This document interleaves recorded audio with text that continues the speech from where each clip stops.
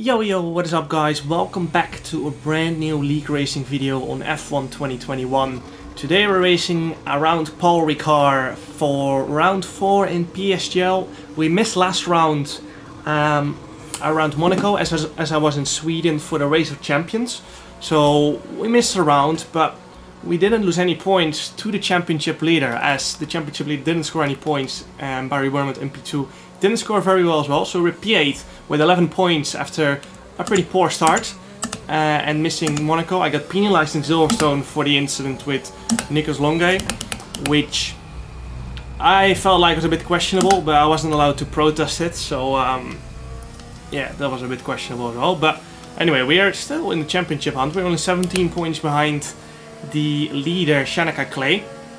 And Paul Ricard usually is a pretty good track for me, so, you know, um, once again heading into this with a bit of lack of practice as I arrived home one day before uh, this race from the Race of Champions in Sweden. I was there for almost a full week, so uh, it was a lot of fun. Um, and uh, know, got to race. I got to race uh, Mick Schumacher and Sebastian Vettel. Learned to drive uh, on the ice, so um, it was very hard, but something very enjoyable. Uh, learning some new things, racing on the ice. Absolutely loved every single second of it.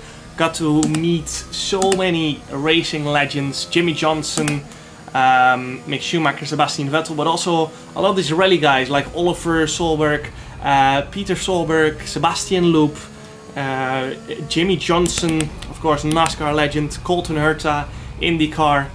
Um, so yeah, it was just so amazing. I probably missed still missed a few people that I met, but it's so amazing. It was organized so nice. So um, yeah, honestly, probably one of the best weeks of my life. Not gonna lie. Uh, even went for uh, a quick ice bath in uh, minus 20 degrees. Um, so yeah, it was just so much fun. I absolutely loved it. But now, um, back to the racing part. This is Q1, and this is gonna be my first lap of the session on uh, this set of softs. Um, I haven't done an outlap yet, I think so. I think I might have done an outlap on the intermediates just to check if everything was working. Uh, but we didn't go for the mediums as we want to save them for Q2. So um, into next right-hander. You can see that turn 1-2 was pretty poor, not gonna lie. 28.4 from Wilson Hughes. Uh, 21.782 as you can see in the top right in the first split. And that's like two and a half tenths off uh, for only four corners. So that was a very, very, very poor sector one from me. And now we're gonna have to try and pull that back. Barry Wermut 28.0 um, on his first attempt. He's probably not gonna have to go out again. And that's our aim as well, to not have to go out again and save our tires for later on in quali or in the race. Into the last sector now, 48.932 and the last split usually is around a 0.3 or a 0.4 so we're looking for a 28.3 here probably so it's not going to be fastest by quite a margin but as I said I messed up that first sector so that's making our life very very hard and in this last sector it's very easy to overheat the rear tires so in this left hander and in the final hairpin it's going to be easy to have the rear snap away we got it pretty nicely so there. you can see there on the exit that's where the tires are struggling, but sometimes you get it even earlier on in that fast left and, and costs you a lot of time. Over the line, 28.405. almost a Um, had to go out again as I wasn't yeah, comfortable sorry, with that, six, so I should tell you. Went out again, 28.242 on my second set um, of softs. Now on to Q2 then. You can see, we went out for the mediums, um, and this is our final lap. And I was aiming for P11, not gonna lie. I wanted to go for the Ultra Threat, we get across the line P12, and um, yeah, it was just so tight. It was Close. very hard to aim for P11. Um, Jake Benham and Danny Bresney still in the lap. Jake Benham comes across the line with uh, a 29.2. We ended up in P13, which was completely fine for me, uh, as my aim was to start on the hard tires.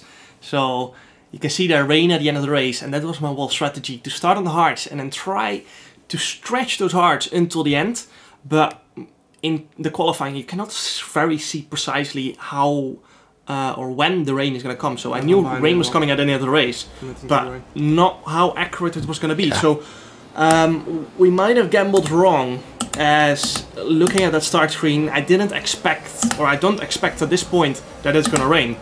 Uh, simply because that box of rain is so late on, it's probably after the race. But we still went for the hards, as, um, yeah, we just have to ask Jeff. Radar is clear. Weather is looking good for now. Dries seem like the fastest tyre at the moment.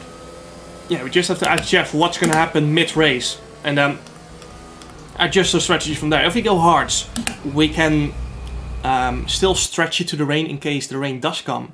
Uh, but we can also still box for softs, which is a perfect, perfectly fine strategy as well. But now, heading into the race then, five red lights, and away we go for round four of PSGL. We get a pretty good start compared to the other hard runners. Into turn one, I'm going to go down the inside of Joni Törmälä, and a little look um, of where Alvaro is going. But now around the outside for the next one, we have more momentum, and we leave enough space for Joni on the inside, and he leaves enough space for us on the outside. Alessio goes a bit weird with his line through there. I thought he had front wing damage at the time, because his line was very confusing. I don't know what was going maybe he had an issue with his wheel or something. I don't know exactly what was going on, but now we've gained two positions, so very solid start on these hard tires. Um, you know, we had the same in Portimao, starting on the hards and then gaining positions um, which is not what you expect. You expect to be losing positions if you start on the hards. And now, um, yeah, it's just an amazing start. We're gonna have to try, um, both me and Alvaro, to keep up with the soft runners because that's our main goal here. And that's gonna be super important because if we can keep up, stay in the DRS, they will pull us along uh, in that DRS train. You can see Simon is a little bit of a gap towards Nicolas Longuet. Um, Nicolas didn't have a great start, or maybe not the best of Q3s. I think he might have invalidated it. So, you know, a bit of a rough um, opening start for him with that poor qualifying result. Um, but yeah, now we just have to um, be patient. I'm not to fight Alvaro. I need to work together with Alvaro here and try to stay with the soft runners because that's to help both of us in um, this moment in the race. So um, moving on half a lap later now, Alessio on the softs behind me, using his overtake, I decided to not fight him, um, give him the space he needs uh, in both of the right-handers. And now he's to get past us. Uh, him on the softs, I expect him to be really fast and pull us along.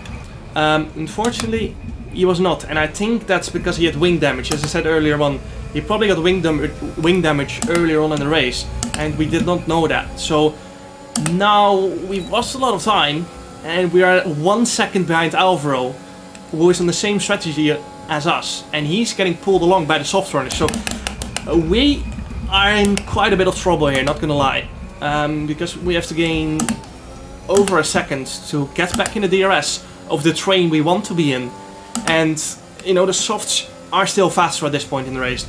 So luckily I did have a full battery, but the guys ahead might have a full battery as well. You can see Alvaro is struggling a little bit to stay within that Harrison's second just fallen out of DRS. of Simon. Um, as you can hear, my engineer Sam say Caraton has fallen out of DRS, but he managed to get back in as those softs are melting in this last sector. So the hards are clawing back time in this last sector. So um, you can see now we've gained around 6 tenths, 7 tenths on this lap alone. And with the help of ERS of course, but we need to gain another half second personal best, as you can see in the top right, by 7.7 tenths. And that just shows we're pushing as hard as we can to try and close that gap back down. And now we have almost have no battery left. I'm gonna be trying to get back in the DRS before the detection zone that's coming up in around two corners. You can see 1.1 seconds. I'm pushing as hard as I can. Backhand snaps out. Personal best for a sector by 6 tenths and we just missed out on the DRS zone. But we're gonna have to keep pushing so that next lap we will be able to be in the DRS. We're gonna be losing time probably a little bit on the straight as Alvaro does have DRS. So that means we're gonna have to keep pushing on this lap to um, get the DRS on the next lap. Probably we will be able to um, get that DRS as long as the guys ahead don't use too much of their overtake and ERS. Um, you see there, we dropped off a little bit in that middle sector because we didn't have DRS to uh, our previous personal best and we also lost like a 10 to over Caraton but then in this middle sector. He's obviously quite close to Simon, so he's losing a few tenths in that dirty air. And um, that's helping us. So that's good. Now DRS detection coming up for the main straight right here. And that means we will have DRS uh, again. And that means we can start recharging our battery. Take it a little bit easier. And just chill behind this group of cars because there's no point destroying our tires and uh, draining our battery to maybe pass one car when all of those people are gonna pass soon, uh, pit soon anyway. Because you know, end of lap 8, uh, two people that started on softs have pitted as Simon goes for a very late uh, move into the pits. Um, Um, just absolutely yeeted into the pits over the pit exit, pit entry line. but um, yeah, Would you get a penalty? I know, yeah, well, it's all reported. Yeah, penalty. What? now back to the race. Nicolas Longuet, um, 2.1 Sorry, no, not. Simon. He has done a pretty good job, not gonna lie, this race so far, getting back up because he ruined his um, uh, qualifying, of course, but with his help of his good rate pace, he managed to claw back a bit. And now on to um, midway lap 12. We got a good run on Alvaro, so we're gonna get past him, not using any overtake. Uh, we recharge the battery and we just have to work together a little bit here to uh, try and beat the people who started on softs, of course. Um, we are planning to go for softs if it does not uh, start raining, um, as the softs are really, really fast for a very short amount of time. So, um, Yeah, we're gonna need that. 31.8. as you can hear my engineer say, longer than the 31.8, but he's on new mediums. A lot of people went for mediums. Mediums, right? A firm. Um, apart from Danny Bresney, we went on the hard, so Copy. Quite the opposite to what we were doing. Um, I decided to, box at the end of this lap and go for the softs. Seven qualifying laps on the soft compound of tires. Um, boxing right now, making sure to break in time. Took it pretty carefully. Um, and now boxing for the softs. Hards were still in a pretty good shape, but of course we need to optimize our race time and um, we still have a lot of people to overtake, not gonna lie. We were in a net P11 before everyone boxed. So, um, yeah, basically another 10 people to overtake. Um, luckily we will have around 100% battery, just under it. I think we'll have 90% as we take off the pit limiter. And coming out, we are in P16, um, which I think is a net P14. So um, a lot of people went for the undercut, um, but I felt like having fresh tires towards the end of the race would be a bigger advantage. So um, now I'm straight away going on attack because you need to use those softs very, very well. Uh, Joni Törmälä pitted one lap earlier than us, and we are straight away going on the attack. Gonna try and overtake know how him long it does on this lap. um, on this rate with the help of the DRS. I turned on the turned off the overtake um, once I opened the DRS, as I felt like I was gonna be easily 22.8 overtaking first Yoni sector. anyway. And I think Yoni No, I just um, knows that we have that one lap fresher tires, which doesn't sound like a lot, but as I said, those softs wear out very fast. Um, So what is so that one lap to is P1? massive. That's Barry, right? Yep, just give me a second. Yeah, tell me the lap time first and then the gap. You can hear me say, uh, I wanted to know the gap to the leaders, so I know how much I need to gain every single lap on average to catch up to them before the end of the race, and also pass them, of course.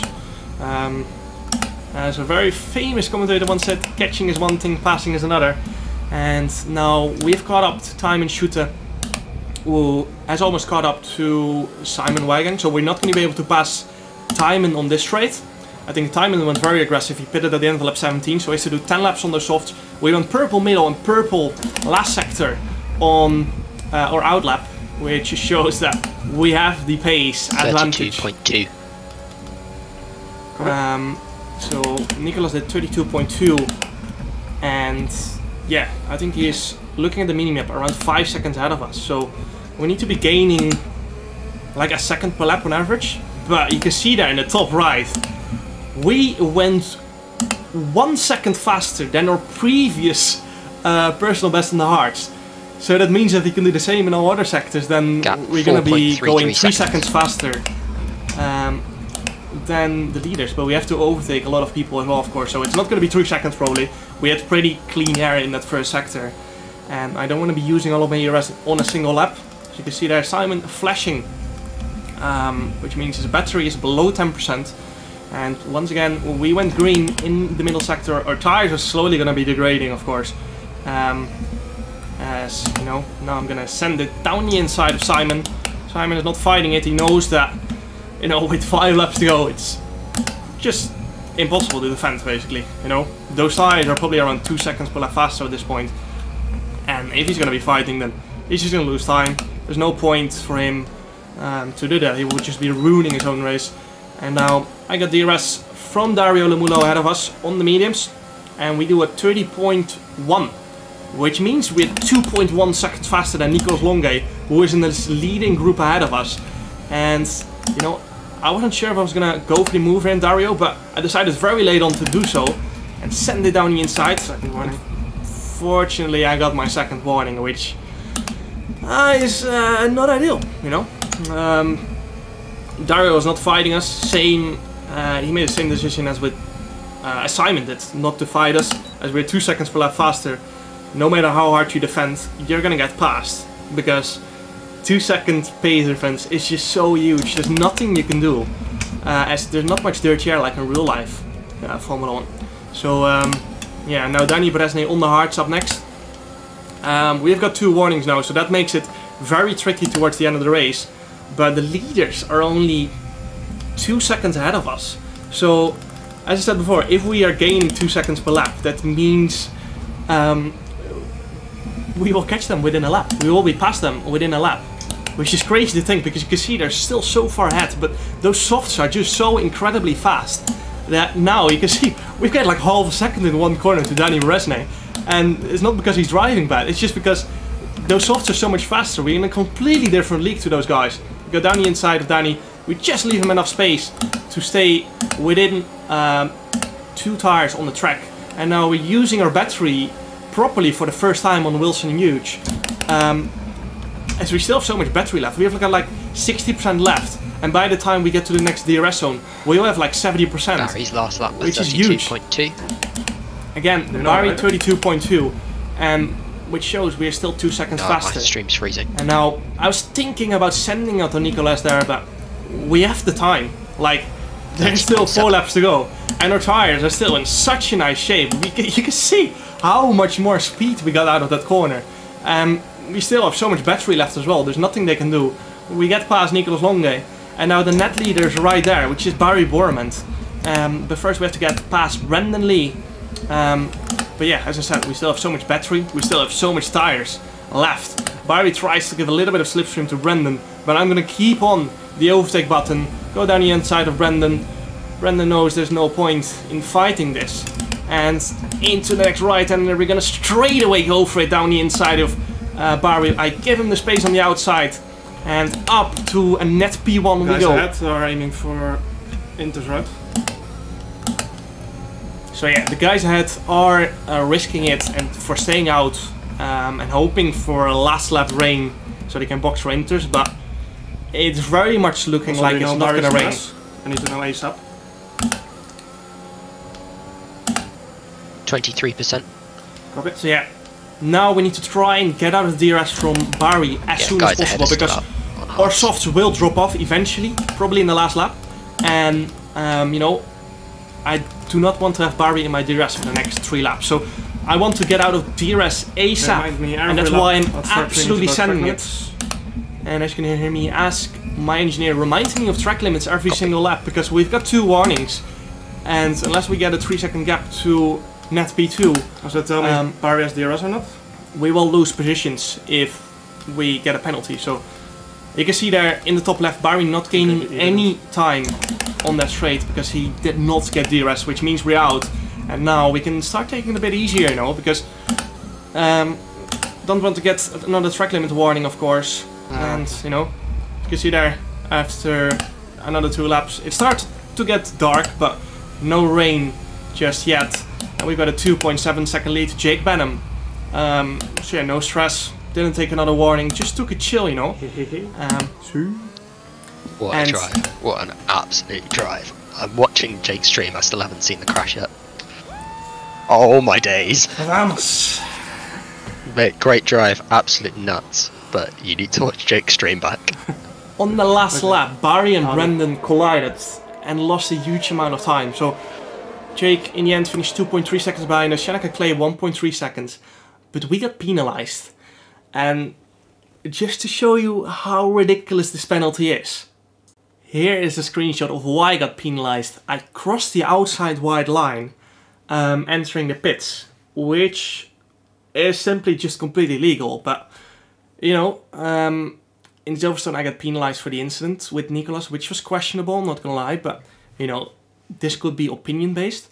But this is a rule that doesn't even exist in real life racing, and it didn't exist in PSGL beforehand as well, because I asked multiple times over the past uh, two years what pit entry and pit exit rules were.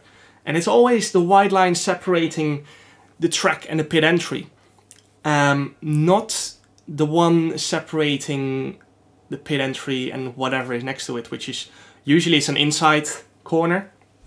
Um, on Austria, for example, I'll have a screenshot of that later as well.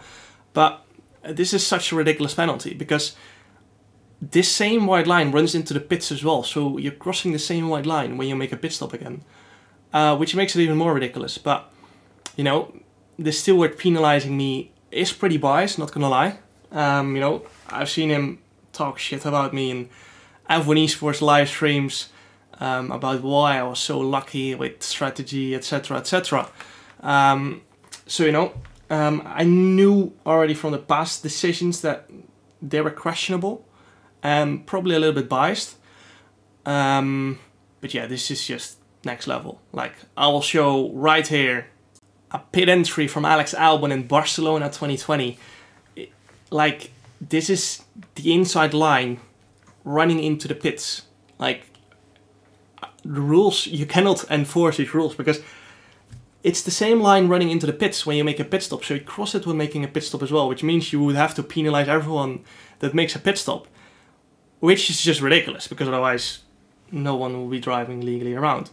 And as you can see here, the same white line as I said runs into the pits, and then you have to cross it to drive into your pit box to uh, make the pit stop. Um, I know this was not enforced in any other tracks, but it was apparently just a special rule for Paul Ricard, just a self-made up rule, um, which uh, didn't exist in previous rounds or you know in previous seasons. So um, very questionable. Um, but you know, I'm not sure if I will do any more PSGL anymore because you know I like uh, fighting for a title when I'm behind on points because that just makes it exciting. You know, it's worth fighting for something.